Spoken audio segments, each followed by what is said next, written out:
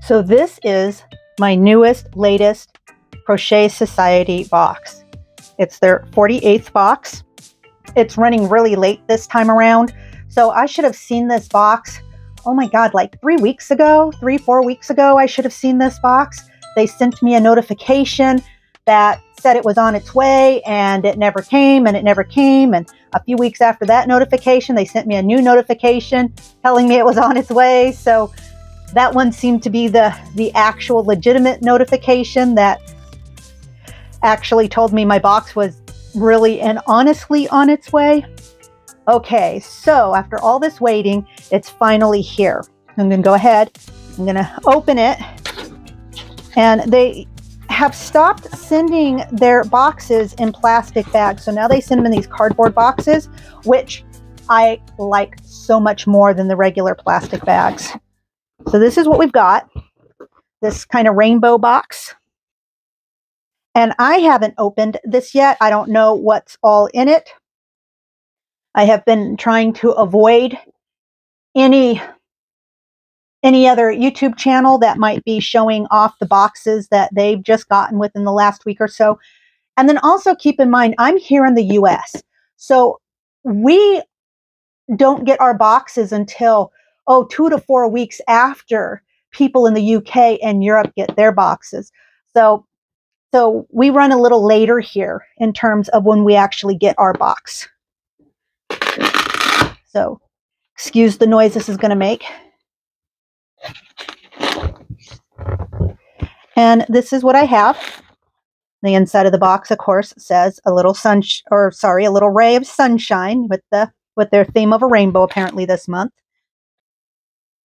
Okay, so I'm going to go ahead and open this up. I'm going to try to be quiet. I know I hate all the crinkly too. Now, I'll probably keep reminding you that I hate all the crinkly. Well, it looks like we're one of our options this month is going to be a kind of an amigurumi because I can already tell because of the stuffing they sent us. Let's see, I try to get this all out. I'm not going to get it out in one piece. It's really crammed in there. And get that set aside.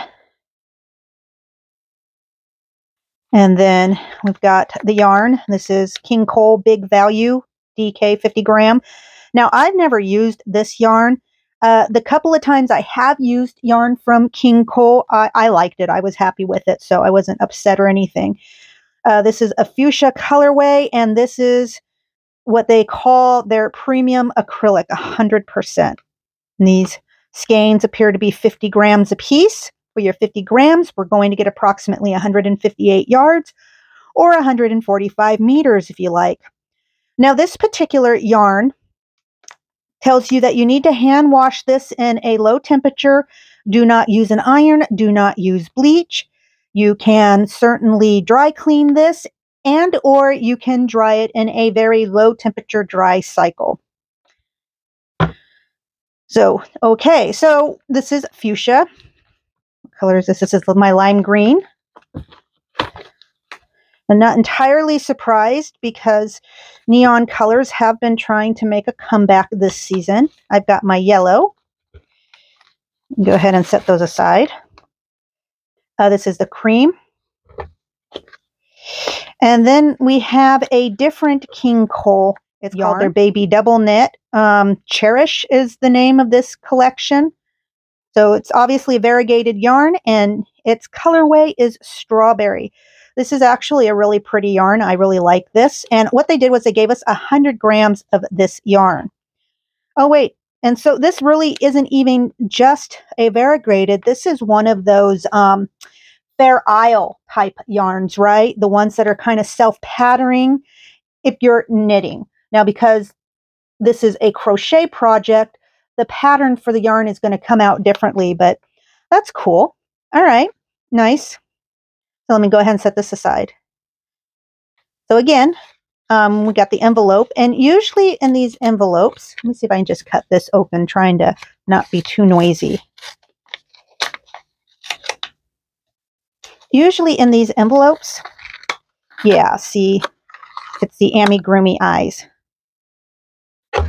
That's what we usually get in these little plastic envelopes. So I don't know what that project is going to be yet, of course, but see, so our stitch marker in the box this time around is what appears to be a yarn ball with a hook, and the colors are basically the color of the rainbow. That seems to be their theme for this box.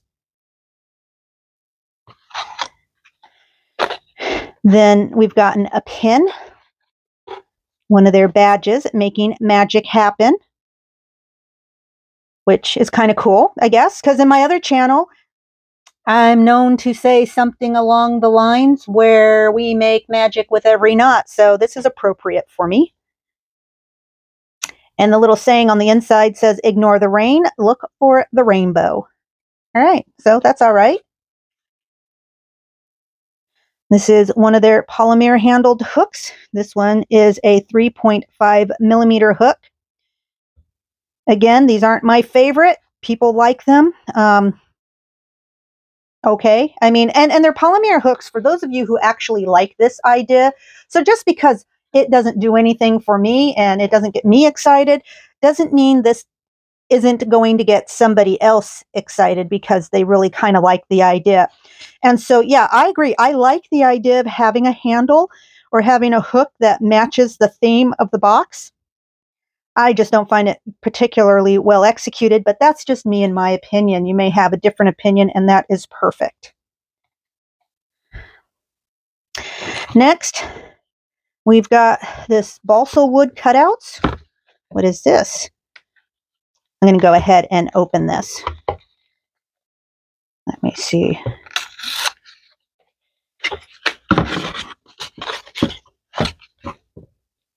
Oh, okay. Flat pack yarn bowl. So that's what this is. So these are kind of cool. I've seen these, but not by Crochet Society, of course, but I've seen them put together by other people.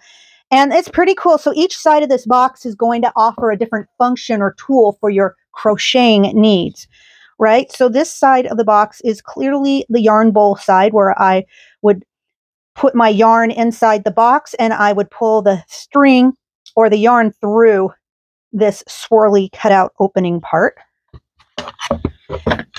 And then this side of the box, okay, are my various measuring tools. So I can size my hooks if I need to with these. And these, you're going to just place it with the shaft. So let's give this a try. So this is my E. It is a size 4 or a 3.5 millimeter. My tulip hooks are always made sl just slightly bigger than what I would normally consider other hooks. So just keep that in mind because different brands sometimes have different sizes. Okay, so this is clearly not going to accommodate every size hook because here is a my American size E and it's a 3.5 millimeter, but I don't have a 3.5 millimeter slot. So it's clearly not going to fit in the 3.25 millimeter, but here it fits perfectly into my 3.75 millimeter, which may or may not, you know, back up my assertion that my tulip hooks are made slightly bigger than the average millimeter size they claim to be.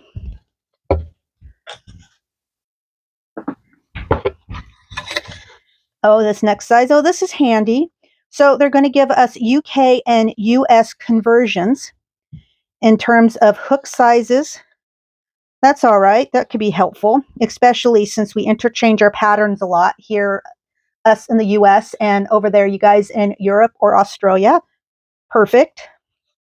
Oh, and then we've got our different, oh, and this is a nice little addition, a little yarn measures. So what you're going to do here is you're just going to pull your yarn through and which slot it comfortably fits in is going to be basically the weight of yarn you're working with. So that's that's actually kind of unique. That's nice.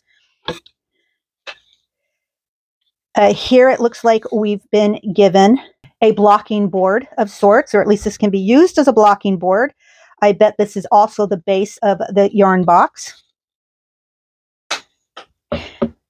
Oh, and then here we've got more conversions. So we actually have UK stitches converted over to US stitches. So that's handy too. That makes everything a little um, more convenient, if you will. So, all right, that's that's kind of cool. That's fun. I feel like they put some thought into this one. Okay, so let's see what our book tells us. Going to check out what projects I have to choose from this time around.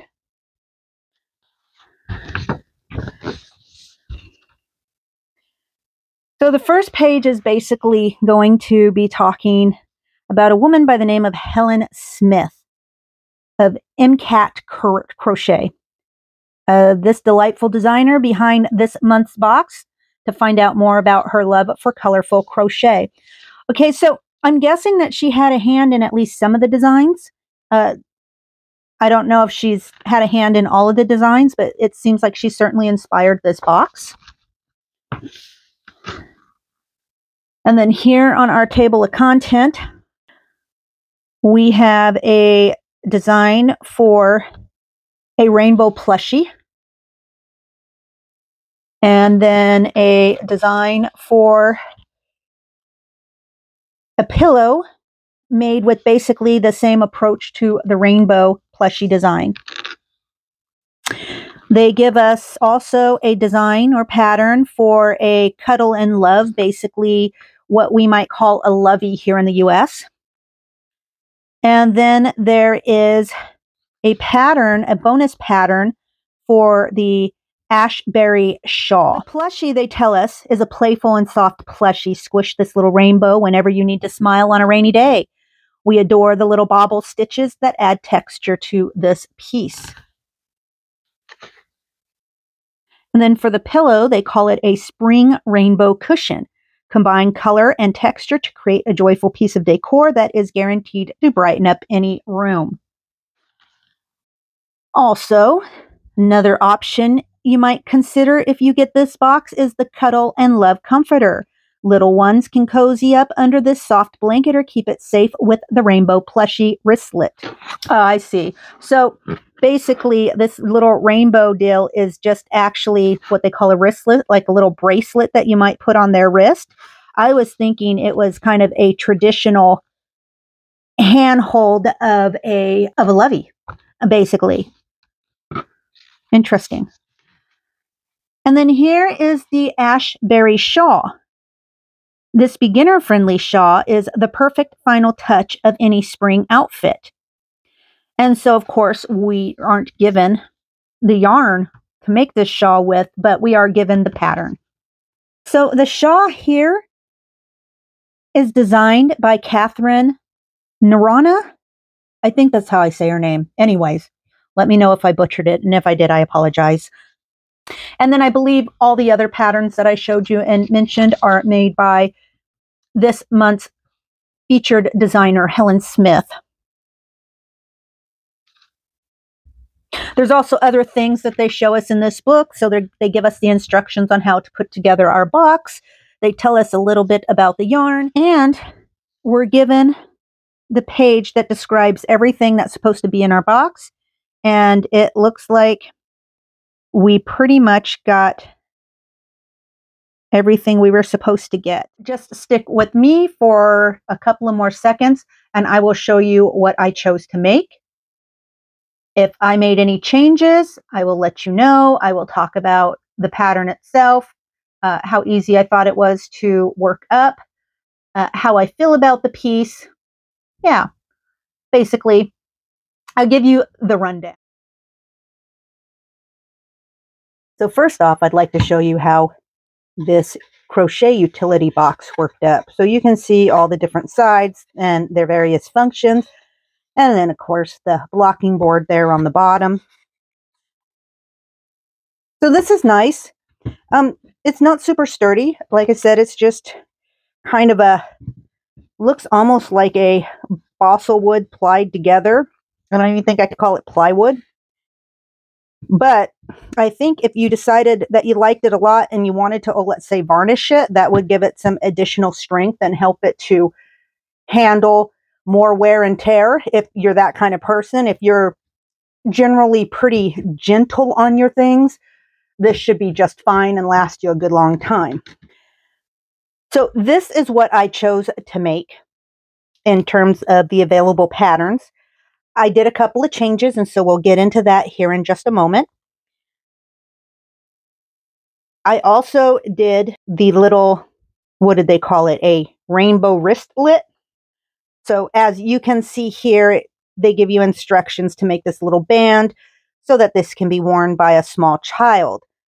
Um, yeah, that I don't really get. So what I did was I went and I turned this into the top handle part of a lovey. So let's discuss what worked for this kit, what didn't work for this kit, and see where it takes us from there. So now, as you can see, this is the lovey that I made. I made the little blanket. It's a larger blanket than a standard lovey. Usually loveys are about 12 inches by 12 inches. And I gave it kind of a kawaii style face with a little smile. And I used the amigurumi eyes that they gave us, the little safety eyes. But because of the size of this blanket and the dimensions of how it turned out, and the fact that I used the safety eyes that were provided in this kit to make a little kawaii style face, this little lovey is going to be more appropriate for a child over three. So your older toddler is who this would probably go for. If you wanted to give something like this to a younger toddler, I would suggest not using safety eyes so that you can avoid any choking hazards. So what I did was I used the strawberry colorway of the King Cole cherished yarn, and I really liked that yarn a lot on the blanket part of it. Now, while the pattern itself didn't call for it or mention it, I added a row on the border of each of the lime, yellow, and fuchsia colors, just so that I can tie it in with a little rainbow face. With this yarn, or this pattern, and I checked, and my count was correct. So there's only a couple other reasons why this could have happened. And what I'm talking about is I ran out of the cherished strawberry colorway yarn right here. So you can see I needed to use some of the cream colored yarn from their value pack of the King Cole, the, the value yarn that was given to us for other projects. So the only reason I can think that this happened was one, maybe my tension was off because my count wasn't off, my count was good, or they simply just didn't give me quite enough yarn to complete the project for the pattern they provided. And so, yeah, you take that for what that is and how you will. That's just the reality of the situation. However, at least the the yarn color didn't detract too much from it. However, you can tell the difference because the value yarn King Cole they gave us, and and to be fair, this is truly a value yarn. It is no frills, no thrills. It is kind of rough. It's it's just your typical low end value yarn, and and that's fine. But it's nothing to get excited about, and you know, and it was okay to work with. But if I were to go out and purchase yarn for a project and I wasn't on a really tight budget, I wouldn't buy this yarn. And so, so far, this value yarn from King Cole is the first yarn that I've tried from them. And I've only tried a couple of them, but this is the first yarn I've gotten from them that I don't really care for. However, the cherished yarn, now this is really pretty. I liked it. I liked working with it. I can see how the pattern would work up the self patterning design of this Fair Isle yarn. That was nice. It has a nice subtle little sheen to it that's really nice. So that I really liked. I liked that a lot. It worked for me. The sheen's not so much that it jumps out at you if you're not really paying close attention but I think I was able to blend everything together eh, pretty well. So I'm not I'm not unhappy with this piece, and this piece will make a young child quite happy. I am pretty certain of it. Now, as far as the yarn is concerned, As you already know, I used up all 100 grams of the strawberry. And to be fair, I guess I can honestly say I really wasn't sure it was going to be enough anyways, because 100 grams, even though this is a large lovey size cuddled blanket, I didn't think it was going to be quite enough to cover it anyways. And I suppose if it was because my tension was off, then then I would have cut it so close. There would have been just enough yarn. So there was really no wiggle room in terms of that yarn. Now this is, you know, their value yarn that meh, like I said, I wasn't that impressed with. It was okay. It wasn't anything to to get excited over. The big value yarn. And in fact, if I were shopping for yarn, again, I would not purchase this unless I really had no choice, unless my finances were super tight. And this is what I have left. So each one of these was 50 grams, if you remembered. So they certainly gave us plenty of the big value yarn. There was plenty of this yarn to make any of the little rainbow amigurumi that that they had mentioned. Uh, if you were going to make the pillow, I believe that you would have had enough of this yarn to make the various rainbow squares for the front of your pillow.